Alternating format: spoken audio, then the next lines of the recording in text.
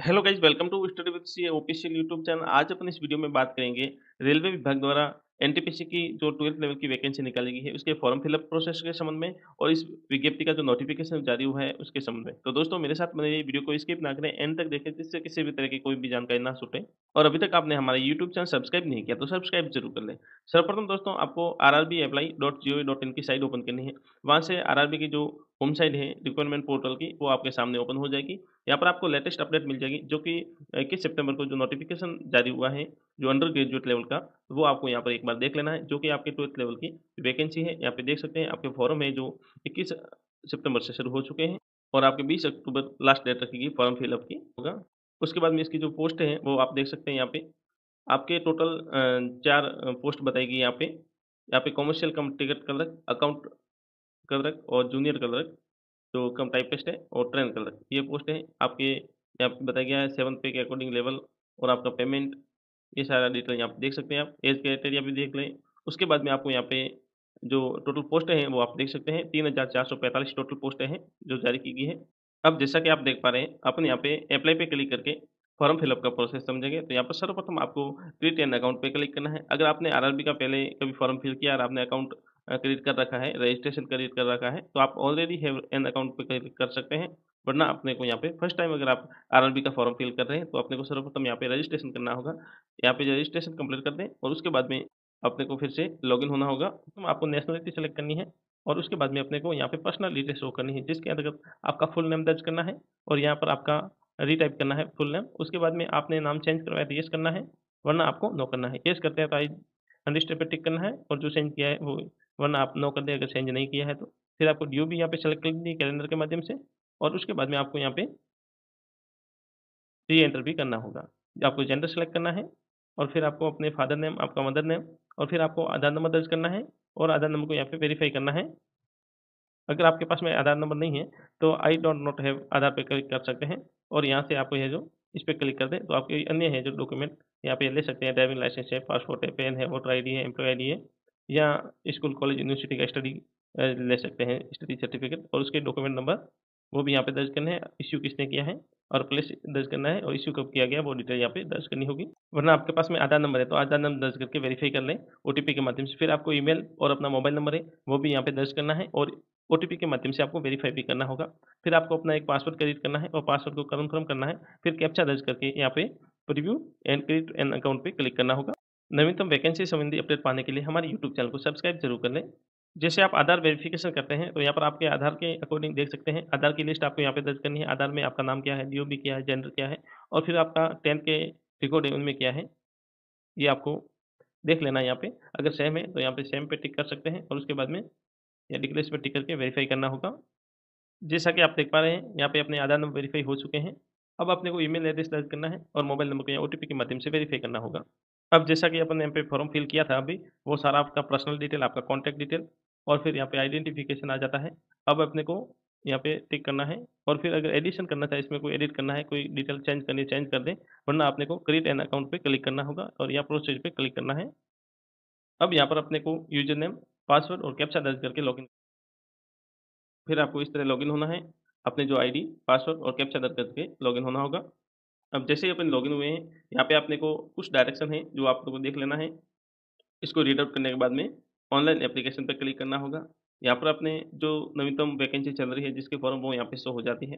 तो अपने को सर्वप्रथम सी एन सिक्स दो हज़ार चौबीस for non technical popular category N T P C undergraduate post ये जो वैकेंसी है, इस पर अपना भी जो ट्वेल्थ लेवल का है, फॉर्म फिल का प्रोसेस समझते हैं। तो यहाँ पर आपको इसका पीडीएफ भी मिल जाएगा जो कि वैकेंसी का है और इंपोर्टेंट डायरेक्शन है वो भी आप देख सकते हैं। उसके बाद में यहाँ पर आपको आरआरबी का जोन सेलेक्ट करना होगा कि किस जोन के लिए आप अपना फॉर्म फिल कर रहे हैं। उसके बाद में यहाँ पर बॉक्स चेक क्लिक करना है और फिर अपने को नेक्स्ट पे क्लिक करना होगा। अब यहाँ पे कुछ जानकारी है जो आपने रजिस्ट्रेशन किया था, वहाँ से आ जाती है और आधार के माध्यम से। तो यहाँ पे देख सकते हैं, आपका पर्सनल डाटा आ जाएगा, नेशनलिटी है, आपका डी है, एज काउंट हो जाएगी और उसके बाद में आपका नाम, father name, mother name gender email address और आपका मोबाइल नंबर फिर अपने को मेरिटल स्टेटस सेलेक्ट करना है, जिसमें आप मेरिड है या अनमेरिड है, वो आपको सेलेक्ट करना है। उसके बाद में आपका रिलीजन सेलेक्ट करना है। फिर अपने को यहाँ पे मदर टंग सेलेक्ट करना है कि आपकी मातृभाषा है, वो कौन सी है। उसके बाद में आपको एग्ज़ाम लैंग्वेज सेलेक्ट करना है कि आप किस लैंग्वेज में एग्ज़ाम देंगे। जैसे हिंदी में, इंग्लिश में या इसके अलावा भी लैंग्वेज है, उनको भी आप चयन कर सकते हैं, जो आपको सुटेबल लगे। और उसके बाद में यहाँ पर आपको permanent visible marks of identification first और दो देने हैं आपको। यहाँ पर आप अपना बॉडी मार्क दर्ज करना है। बॉडी पे कोई स्टाई मार्क है, जैसे कोई गाँव है, या फिर आपके कोई मॉल वगैरह है तो वो यहाँ पे दर्ज कर सकते हैं। अब यहाँ पे आपको कम्युनिटी सेलेक्ट करनी है कि आप किस कैटेगरी से आते हैं, और उसके बाद में अपने को आगे बढ़ना है। यहाँ पे डिक्लेस पे टिक करना है, और आपका यहाँ पे सर्टिफिकेट होना ज़रूरी है, जिस कैटेगरी को आप सेलेक्ट करते हैं। जैसे आपका कौन सा एरिया है ट्राइबल एरिया उसके अकॉर्डिंग आपका जैसे कौन सी जाति है, फिर आपका सर्टिफिकेट नंबर क्या है फिर आपको इश्यू किसके द्वारा किया गया है? यहाँ से इनमें से सेलेक्ट करना है और फिर आपको कब इश्यू किया गया है? और फिर आप ट्रैवल करेंगे एग्ज़ाम के समय, उसमें इसका फ्री ट्रैवल करना चाहते हैं येस या नो वो आपको सेलेक्ट करना होगा और आपको यहाँ पे कास्ट सर्टिफिकेट है वो अपलोड करना होगा, जो कि 500 के बी से ज़्यादा नहीं होना चाहिए और आपको पीडीएफ फॉर्मेट में अपलोड करना है, ये ध्यान रखना है, जो आपका कैटेगरी सर्टिफिकेट और यहाँ पर आपका जाति का नाम दर्ज करना होगा फिर आपको यहाँ पे अथॉरिटी सेलेक्ट करना है कि आपको किसके द्वारा ये जो आपका सर्टिफिकेट अपलोड किया गया है, उसके बाद में यहाँ पर आपको स्टेट सेलेक्ट करना होगा और कब इश्यू किया गया है, अब आपका नियरेस्ट स्टेशन भी सिलेक्ट करना है कि आपका नियरेस्ट रेलवे स्टेशन कौन सा है। अपना डॉक्यूमेंट अपलोड हो चुका है, अब अपने को यहाँ पे प्रजेंट एड्रेस और परमानेंट एड्रेस यहाँ पे दर्ज करना होगा। यहाँ पे अपने को स्टेट सेलेक्ट करना है, आपका स्टेट कौन सा है, फिर आपको अपना डिस्ट्रिक्ट यहाँ पे सेलेक्ट कर देना है। और फिर आपका यहाँ पे एड्रेस दर्ज करना है कम्प्लीटली आपका विलेज सिटी यहाँ पे सेलेक्ट कर देना है, फिर आपको यहाँ पे पिन कोड नंबर दर्ज करना है। अगर परमानेंट एड्रेस और प्रजेंट दोनों सेम है तो आप यहाँ पे टिक कर सकते हैं। और फिर अपने को यहाँ पे सेव पे क्लिक करना होगा। और फिर अपने को नेक्स्ट पे क्लिक करना है। यहाँ पे एडिशनल कैटेगरी शो हो जाती है, जिसमें अगर आप एक सर्विस सर्विसमैन है तो येस करना है। येस करते हैं तो आपकी सर्विस कैटेगरी भी दर्ज करनी होगी और अगर आप एक सर्विसमैन नहीं है तो नो कर सकते हैं। कोई स्टूडेंट अगर डिसेबल रहती है या फिर पीएस स्टूडेंट है तो वो येस कर सकता है, वरना आपको नो करना है। येस करते हैं तो यहाँ पर आपको कैटेगरी भी सेलेक्ट करनी होगी और उसके बाद में यहाँ पर इस तरीके से आपको जो आपका सर्टिफिकेट बना हुआ है, वो सारी जानकारी यहाँ पे दर्ज करनी होगी और जो नहीं है वो नो कर सकते हैं। अगर येस करते हैं तो आपको यहाँ पे स्क्राइब चाहिए तो आप यहाँ पे ये सेलेक्ट कर सकते हैं। यानी कि जो स्टूडेंट अपने डिसेबल हैं, वो अपना एग्ज़ाम के समय किसी को रखना चाहते हैं एग्ज़ाम देने में एवरेज में तो वो आप उसके साथ में हैं तो इसके लिए आप जो रिलीफ लेना चाह रहे हैं तो येस कर सकते हैं। जो स्टूडेंट डिसेबल है, उनके लिए है। उसके बाद में आपको इकोनॉमिक बैकवर्ड क्लास डिटेल यहाँ पे दर्ज करनी है। ईबीसी सर्टिफिकेट है तो आपके पास में। यहाँ पर जो बीपीएल कैटेगरी में आता है तो आपको यस कर सकता है, वरना आपने को नो करना है। उसके बाद में यहाँ पर सर्विस रेलवे एप्लीकेंट यानी कि आपने रेलवे के कोई एम्प्लॉय हैं तो यस कर सकते हैं, वरना आपको नो करना है। उसके बाद में यहाँ पे अन्य कोई करंट में एम्प्लॉय है तो आप यस कर सकते हैं, कहीं सेंट्रल गवर्नमेंट के या स्टेट गवर्नमेंट के या पब्लिक सेक्टर में, अगर नहीं है तो नॉट एप्लीकेबल करना होगा। अब यहाँ पर अपने को बैंक डिटेल दर्ज करनी है, जो कि आप अभी फ़ीस जमा करेंगे, वो फ़ीस रिफंड होती है तो आपके इस अकाउंट में है जो जमा हो जाएगी तो इसलिए अपनी बैंक डिटेल है, वो अच्छी तरह जैसे आपका बैंक होटल का नाम है, फिर अकाउंट नंबर है अकाउंट नंबर कन्फर्म करना है आईएफएससी कोड दर्ज करना है। उसके बाद कन्फर्म करेंगे तो बैंक का नाम और बैंक का एड्रेस यहाँ पे शो हो जाएगा। फिर अपने को सेव करना है और नेक्स्ट पर क्लिक करना है। यहाँ पे अपनी डिटेल आ गई है, अब अपने को सेव पे क्लिक करना है, फिर अपने को नेक्स्ट करना होगा। अब अपने यहाँ पे पहुँच चुके हैं क्वालिफिकेशन डिटेल पे। यहाँ पर सर्वप्रथम अपने को यहाँ पे टेंथ की डिटेल दर्ज करनी है कि आपकी टेंथ है मैट्रिक से वो कौन से स्टेट से आपने कंप्लीट की है, वो यहाँ पे दर्ज करना होगा। फिर आपको डिस्ट्रिक्ट सेलेक्ट करना है और बोर्ड सेलेक्ट करना है, यानी कि आपका बोर्ड कौन सा है, उसके बाद में आपका रिज़ल्ट डिक्लेयर कब हुआ है, वो यहाँ पे दर्ज करना है। उसके बाद में रोल नंबर आपके, और फिर आपको मार्कशीट की या जो आपका सर्टिफिकेट है, उसकी पीडीएफ भी यहाँ पे अपलोड करना ज़रूरी है। उसके बाद में अपने को एड पे क्लिक करना है और यहाँ पर आपको जो मैट्रिक्स की डिटेल है, वो यहाँ पे सेव हो जाती है। फिर अपने को ट्वेल्व की डिटेल है, वो यहाँ पे दर्ज करनी होगी।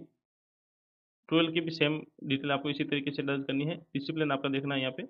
उसके बाद में आपको स्टेट सेलेक्ट करना है डिस्ट्रिक्ट सेलेक्ट करना है बोर्ड और रिज़ल्ट और आपने हिंदी और इंग्लिश की टाइपिंग की जानकारी है। आप येस कर सकते हैं, जो कि टाइपिंग वाली वैकेंसी है, उसके अंतर्गत ये ज़रूरी है और बाकी आप नो पीस को कर सकते हैं और फिर अपने को यहाँ पे परसेंटेज दर्ज करके कंप्लीट करना होगा और फिर अपने को एड पे क्लिक करना है, ये भी सेव हो गया। अब इसमें आप करेक्शन करना चाहें तो यहाँ पे एडिशन भी कर सकते हैं, किसी को हटाना चाहे तो हटा भी सकते हैं, मगर दसवीं और बारहवीं तो मैंडेटरी है, जो ट्वेल्थ लेवल का है, उसके बाद में आपका कॉलेज का डिप्लोमा है तो आप यहाँ पे बेचलर डिग्री भी सिलेक्ट करके इसी तरीके से फिल कर सकते हैं फिर अपने को नेक्स्ट पे क्लिक करना होगा। इस तरीके से आपको ऐड करते जाना है। आप स्टेप में अपना सब्जेक्ट समूह है, वो सेलेक्ट कर दें। या फिर यूनिवर्सिटी का नाम भी आपको दर्ज करना होगा। फिर अपने को यहाँ पे सारी जानकारी फिल हो इसके बाद में अपने को नेक्स्ट पे क्लिक करना है। अब यहाँ पर आपने जो डॉक्यूमेंट अपलोड किए थे, वो भी आप यहाँ से देख सकते हैं। आपका दसवीं का और फिर आपका जो कैटेगरी सर्टिफिकेट था। अब अपने को यहाँ पे फ़ोटो और सिग्नेचर अपलोड करना है। फ़ोटो आप देख सकते हैं। आपका फ़ोटो सत्तर के बी से ज़्यादा नहीं होना चाहिए। और आपका सिग्नेचर है वो भी तीस से सत्तर के के मध्य रखना है। इसकी हाइट और विथ देख सकते हैं आप। इसके अकॉर्डिंग आपके फ़ोटो को रखना है।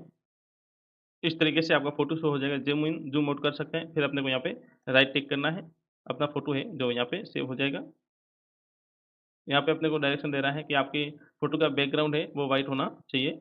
और उसके बाद में अपने को सिग्नेचर यहाँ पे अपलोड करना होगा। इस तरीके से अपने फ़ोटो और सिग्नेचर आ जाएँगे। आपको यहाँ पे विशेष ध्यान रखना है। फ़ोटो आपका है जो वाइट बैकग्राउंड ही होना चाहिए। फिर अपने को सेव पे क्लिक करना है, फिर अपने को नेक्स्ट पे क्लिक करना होगा। अब जैसे ही अपने नेक्स्ट पे क्लिक किया, यहाँ पे देख सकते हैं, अपने को यहाँ पे जो एलिजिबल पोस्ट मिली है, आप देख सकते हैं, इनके अंतर्गत अपने जो प्रेफरेंस सेलेक्ट करना होगा।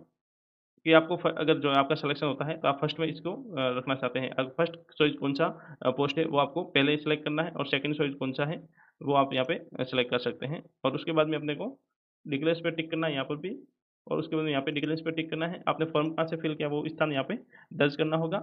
और फिर अपने को सेव पे क्लिक करना है। फॉर्म को प्रीव्यू करना है। फिर बाद में अपने को सबमिट करना होगा। अपना फॉर्म सेव हो चुका है। अब अपने को प्रीव्यू करना है। आपने जो फॉर्म फिल किया था, सारी जानकारी यहाँ पे शो हो जाती है। एक बार इसको अच्छी तरह देख लें। उसके बाद में अपने को फॉर्म को यहाँ पे फाइनल सबमिट करना होगा। अगर फिर भी आपको एडिशन चाहे तो यहाँ पे एडिट कर सकते हैं, वरना आपको सबमिट पे टिक करना है। अब यहाँ पर अपना फॉर्म है, जो कम्प्लीटली फिलअप हो चुका है अपने सबमिट भी कर दिया है। अब अपने को फ़ीस पे करना है।